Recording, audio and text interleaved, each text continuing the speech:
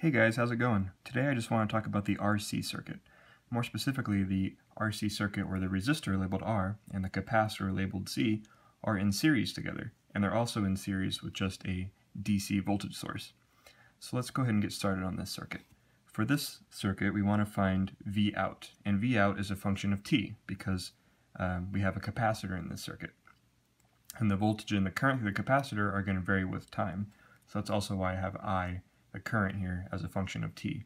And remember that when we have uh, functions that um, depend on another variable, we write them with uh, a lowercase. So this is a lowercase v, and this is a lowercase i.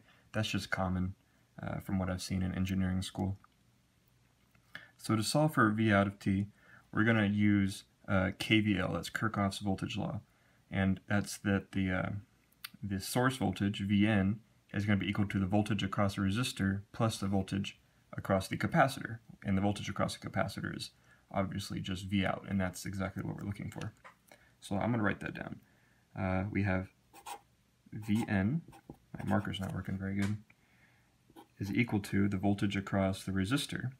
And remember that the voltage across the resistor is, using Ohm's law, is R times the current. So R times I of t is R times I of t plus the voltage across the capacitor, which is V out of t.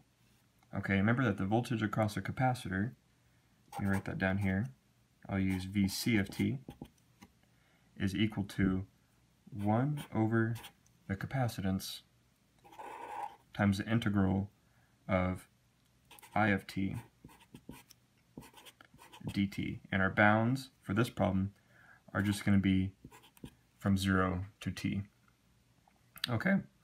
Uh, you know, sometimes you'll see the, this uh, integral from negative infinity to t, but that doesn't really make a whole lot of sense for this problem because we can't have a negative time here, so we're assuming that our, our circuit's going to start at t equals 0. So picture maybe a switch up here that closes at t equals 0.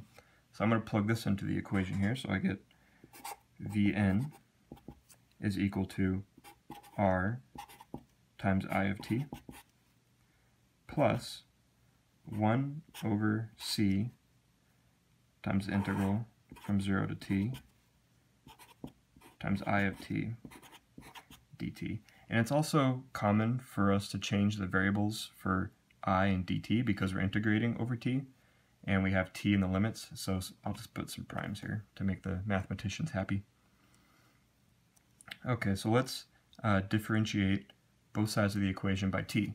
And since Vin is a constant, if I take the derivative of it, it's just going to be 0 is equal to r times dit dt plus uh, 1 over c times I of t. Okay, and if I want to write this uh, equation as a uh, first order linear differential equation, I'm going to go ahead and uh, write it this way. I'm going to divide everything by r. So I have the derivative of the current with respect to time plus 1 over r times c times the current is just equal to zero. And this, like I just said before, this is a linear first order differential equation. And if I want, it would take a lot of time if I went through and actually solved this. But uh, I have in my notes here the actual answer to this, and you know from your differential equations class how to solve this. So you could do this on your own, and you should arrive at the same answer. So uh, in my notes, I have that I of t I of t is just equal to I naught, that's a constant, times e to the negative t over uh, tau. And you know from your physics class that tau is just a time constant, and uh, tau is just equal to r times c. Okay, so now we need to find this constant I naught. And this is pretty easy. So think about this uh, from the physics aspect. So as soon as uh, as soon as t equals 0, so if we have our imaginary switch that closes up here on our circuit, current is going to start flowing. And the capacitor isn't going to resist the current flowing at all when the switch initially, initially closes. What is going to limit the current is this resistor. And the maximum amount of current that can flow would be if we were to short this capacitor, right? So the current through this capacitor at t equals 0, when the capacitor is virtually a short, would just be the voltage, Vin, divided by the resistance. So at uh, I equals 0, sorry, at uh, when t equals 0, or I of 0, um, we have this is equal to uh, Vin over R. So therefore, I naught is equal to Vin over R. So that's pretty easy. Let me plug that in here. I'm going to write that up here so we can see that better. We have I of t is going to be equal to uh, Vin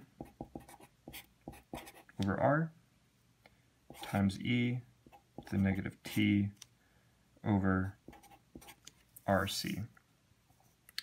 Um, you know, most circuits professors or phys physicists like to keep this in terms of tau, but I'm just going to use RC so we have uh, everything as a voltage, resistance, capacitance, and time.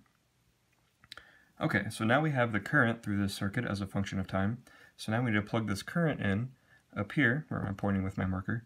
We need to plug that current into this integral to get um, the voltage, the output voltage. So I have in my notes that if we plug this in, so uh, V out of t is equal to uh, 1 over c times the integral from 0 to t, uh, Vin over r, uh, e to the negative t prime over rc dt prime, I get that V out as a function of time is equal to Vin times 1 minus e to the minus t over rc.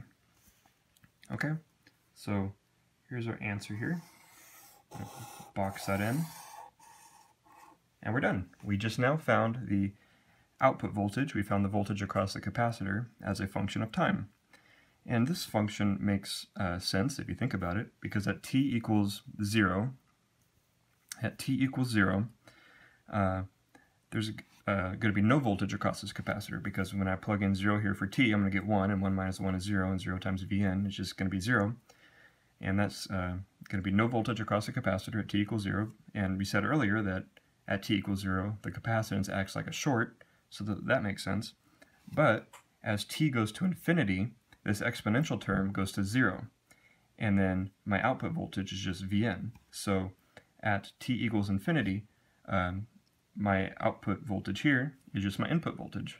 The voltage here is just transferred to the capacitor. Alright, well, uh, that's going to do it for me, guys. Thanks for watching. Um, you know, leave a like, subscribe. I'll be back with more videos. Thanks.